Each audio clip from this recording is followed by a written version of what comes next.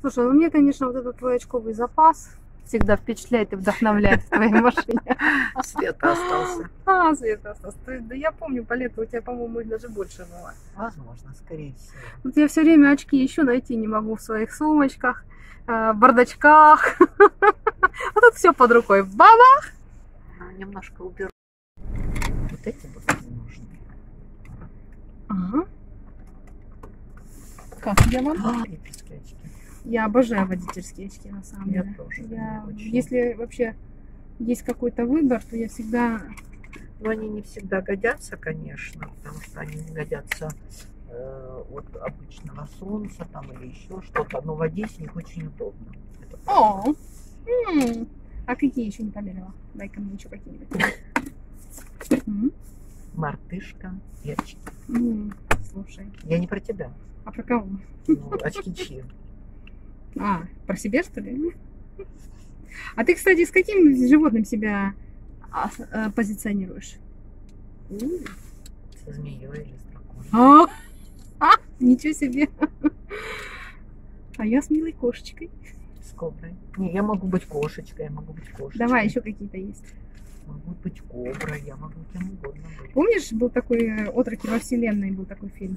Да, Там такие были роботы четырехглазые. помню. Ну, вот, типа меня сейчас. Да?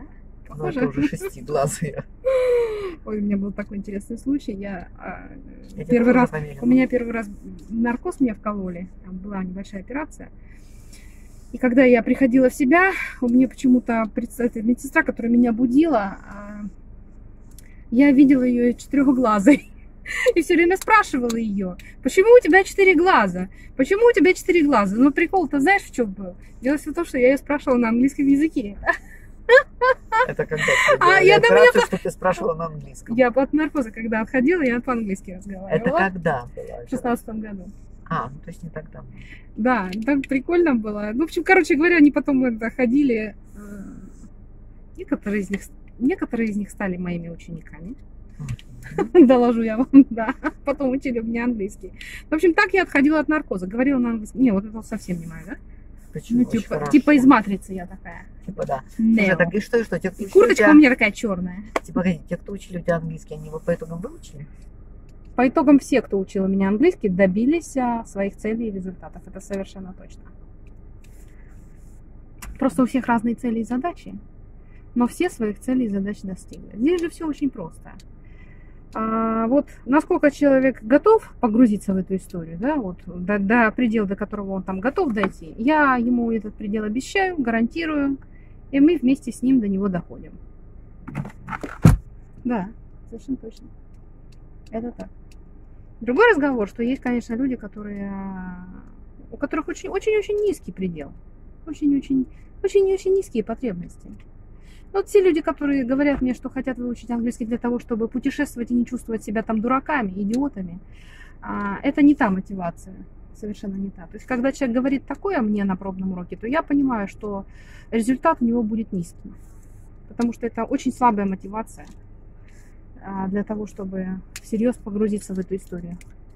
Если я хочу учить язык для того, чтобы вот, путешествовать без языка, я не чувствую себя ни дурой, ни идиоткой. А вот если я хочу э, путешествовать, э, ну, пройти длинный путь и по дороге общаться с людьми, понимать их, лучше понимать, это мотивация? А, ну, это мотивация, если, конечно, это может быть мотивация, разумеется.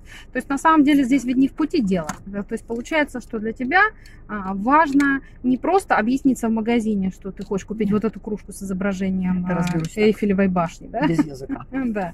А задача именно в том, что ты хочешь э, более глубокого общения. То есть Да. более понятного, более проникновенного, более интересного общения с окружающими, да? Да, это хорошая мотивация, разумеется. Но еще большая мотивация, когда, вы для, когда ты для себя лично оцениваешь, э,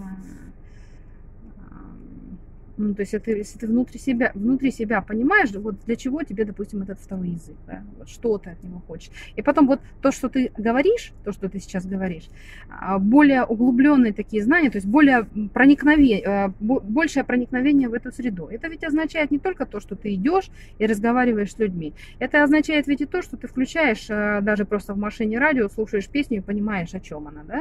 То есть ты проникаешь в суть и здесь. То есть тебе интересно и это. Или, допустим, ты включаешь какой-нибудь сериал и туда тоже проникаешь в эту глубину. Нет, это не интересно.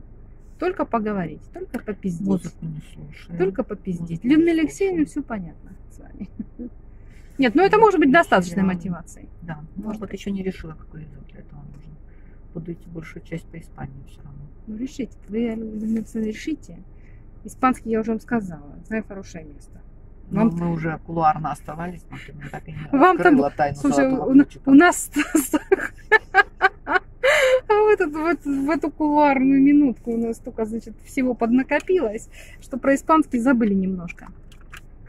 Нет, мы про, про испанский помним, потому что мы выучили в институте, в школе, и там, не, там не выучили. Так что, так что следующая кулуарная остановка Рекламная пауза. Где и как и с кем учить испанский?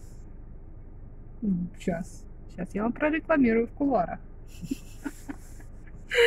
Ай, все, ну ладно.